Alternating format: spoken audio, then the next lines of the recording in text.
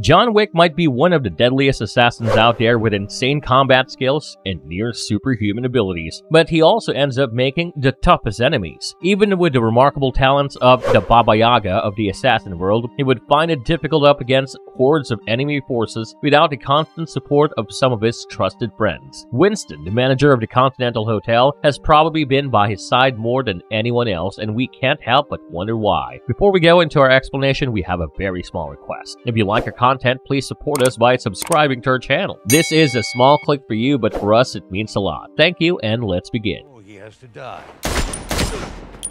Sorry, Jonathan. Don't see any other way.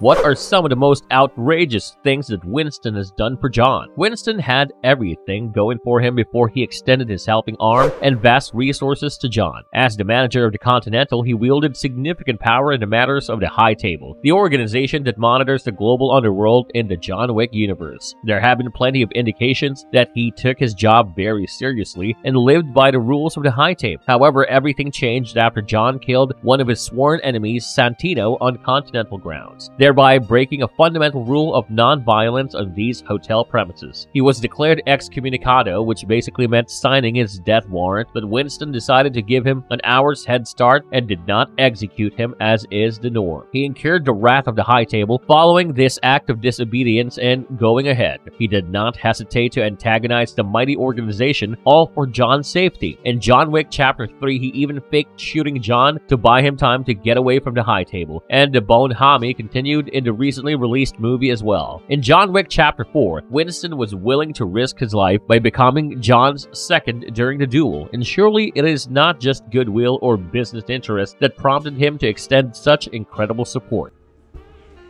Hello,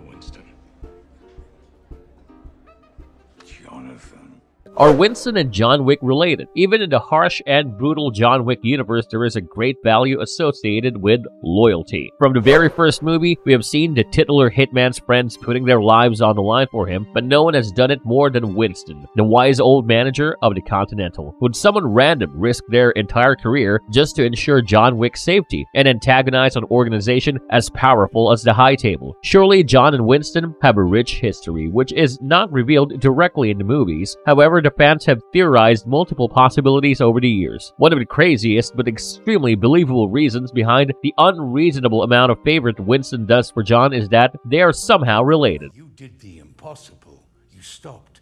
You got out.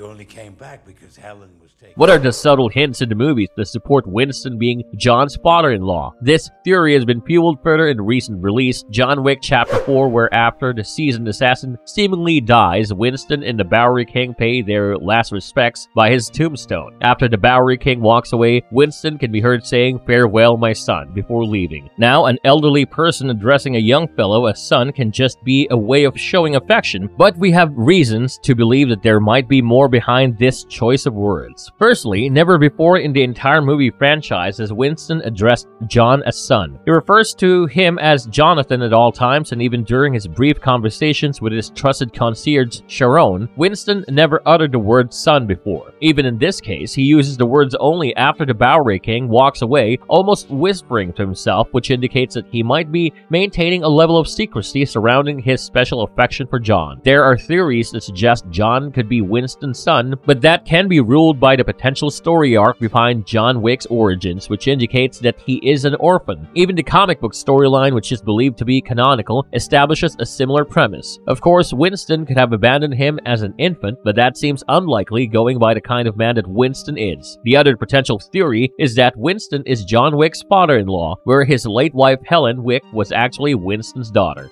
Is the need for such secrecy a crucial hint about John and Winston's actual relationship? Both John Wick and Winston are powerful men respected in the underworld and commanding significant resources at their disposal. Why would they hide their close ties like a huge secret? Well, to understand the need behind this secrecy, you have to go back to some of the events in John Wick Chapter 3 Parabellum. In this movie, a corner John heads over to his old accomplice Sofia, who also happened to owe him a blood oath. She wasn't too eager to help him out, but Sofia agreed reluctantly because John had done her a huge favor once. He was instrumental in finding a safe place for her daughter, a location that Sofia never wanted to know because it would make her weak. Sofia was also a manager of a continental hotel, and from the looks of it, she did not lack power and resources either. Even then, she felt a need to keep her daughter away forever in an unknown location where her only comfort came from the fact that her daughter was safe. Surely you can connect the dots now. Winston is probably no exception to this rule, and there is an element of vulnerability associated with having close family members in this profession. The likes of the Bowery King, Winston, and Sofia are all lone wolves with no one to worry about, and this is what makes them all so dangerous. Even a dreaded assassin like John Wick had to do the impossible to get out of this dirty business in order to have a peaceful life with his wife. There is possibly a huge threat associated with having your enemies know about your vulnerabilities, and the loved family members could face a life threat at each step if they weren't kept a secret. This compulsion pushed Sofia to keep her daughter away, and it could have been the same for Winston as well. The only exception to this practice can be seen in Osaka Continental in Tokyo, where the manager Koji works along with his daughter Akira. But it must also be noted that Akira is not a common lady, and she is a trained assassin herself, capable of dealing with the threats of this hostile world. Winston probably had a daughter, and he was increasingly worried about her safekeeping. After John fell in love with his daughter and wanted to marry her, Winston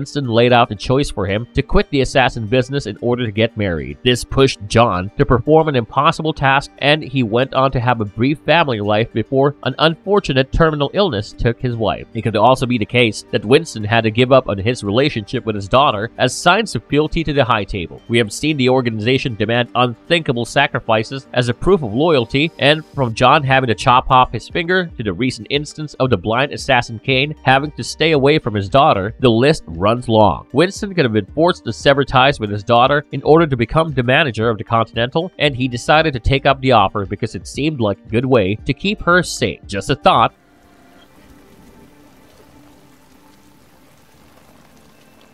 Why did Winston never attend her funeral? Wouldn't a loving father attend her daughter's funeral or visit her during her last days? Well, the answer to this question might be more complicated than you would think. Surely Winston could have been there for her during her last days or attended her funeral service to console a grieving John, but that would have been a potentially major giveaway. We have known Winston to be a reasonable and practical man, and he would not blow John's cover in his relationship with a man after keeping it a closely guarded secret for so long. You have to remember that John was not yet back to his assassin's life, and a civilian identity had to be protected by all means. If you remember his funeral, none of his friends from the underworld governed by the High Table attended the service, and it was only Marcus who met him rather secretly following the tragedy. Besides, Winston has been shown to be a calm and composed man who doesn't show his emotions, and this can be observed from his first interaction with John after his wife's death. When the assassin checks into the Continental Hotel, Winston can be seen stating rather formally and coldly how sorry he is for John's loss. Men in such powerful positions cannot let emotions and personal feelings get in the way of their work, and as a man of logic and reason, Winston probably masked his grieving heart after losing his daughter.